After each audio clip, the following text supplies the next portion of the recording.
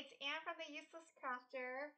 So thanks for joining. I wanted to show you how we're going to make this little guy right here, which is so cute. It's a keychain and it has the gold flakes and paint on the back with um, the vinyl on top. I just want to show you how the gold flakes, like it's on here and it's totally on. It's not rubbing off. You can see I'm really rubbing hard on it and nothing's happening. So I absolutely love these gold flakes. All right, so let's get started. I wanted to show you, I left this so that we can weed it together because I want you to see when you have a good blade in there, look at how easy this is. Right, so I'm not even using a tool. I'm just peeling it off and then I'm gonna pop out the inside so you can see how easy that is as well. And this is with the adhesive foil. And I've had, I mean, I've definitely had it where it didn't cut well. And that sucked really, really badly. So um, I like to use my blades on Amazon. And let me see if I can get this off without scratching my... So both the this acrylic keychain and the blades I get on Amazon. They're a great price. And for that price point, you can switch out your blades anytime that it's not working. All right, so here's our little piece. I'm gonna put it down and I'm gonna get the transfer tape here. And I'm just gonna put the name down. Make sure you burnish it really, really well so it sticks to your thing, to your transfer tape.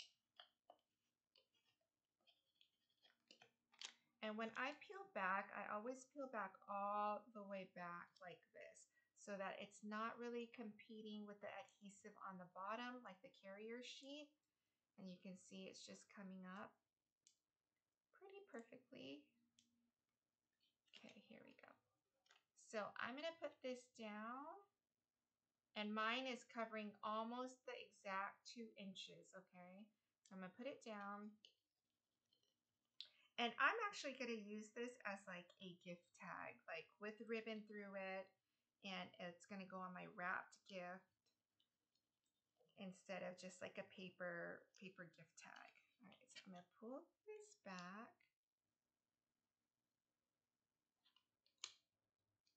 And when I'm pulling it back, I'm always going pretty slowly because if it lifts up and you pull it really hard, um, you may just rip off the foil. So that's why it was going so slow.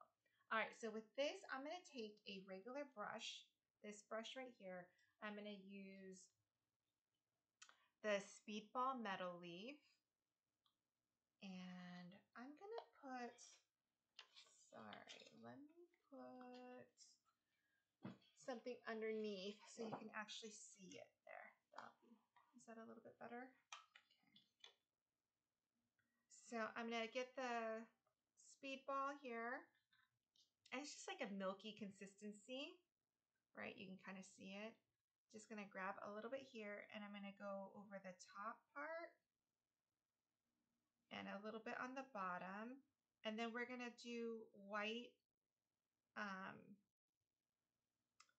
white acrylic paint in the middle so you can really see the name like we did on this one. Okay, so on here, let's close this up. And I always have this little tool right here to pick out my flakes. So here are my flakes. And on this one, I've used it on a few projects already. You can't even tell that I've really used it at all. So um, I do like that it's, it feels like they're lasting a long time. So I'm just gonna put a little bit down. And it just sorts, it just starts to crumble up. And I like it because it's reacting to the adhesive.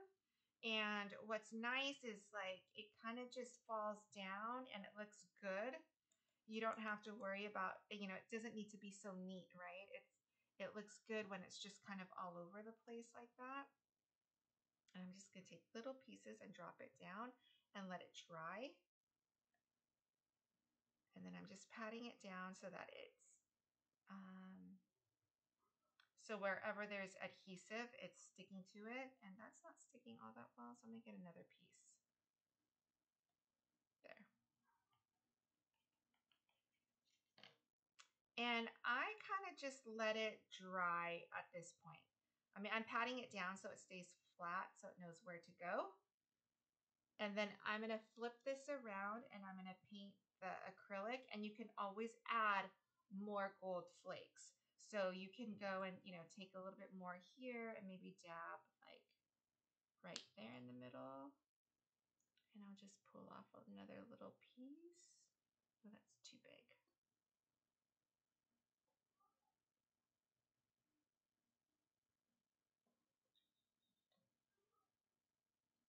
I know once you get a little bit adhesive on you, it's going to really stick. So it's a good adhesive, but then you end up wasting your gold flakes if you get it on there.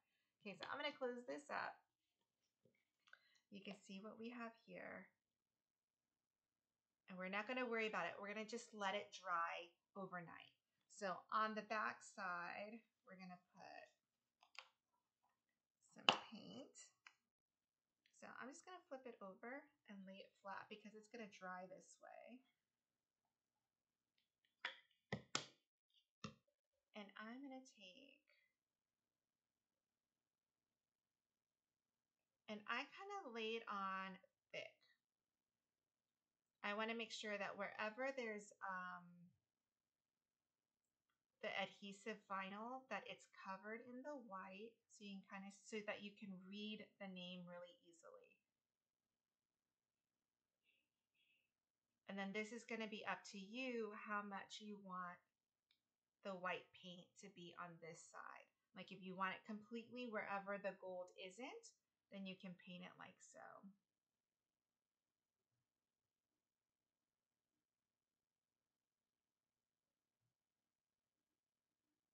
And that's it. And then you're going to let it dry overnight. And then you can either add more gold or you could be happy with it and just kind of clean it up. So I went with the white all the way to the edges like I did on my other one, which I'll show you again in a second. Okay, so I think that looks good. So that's what that's gonna look like, okay? So I'll let that dry overnight. This one you can see is the white here. And then I just poked a hole with this. I poked a hole in through the, where that goes. And then look at the, the gold. It just stays on. It's not flaking off, which I absolutely love. All right, that's all there is to it. Super simple, right? Okay, see you on the next one. Let me know if you have comments, questions, or special requests. And thank you for subscribing. All right, see you.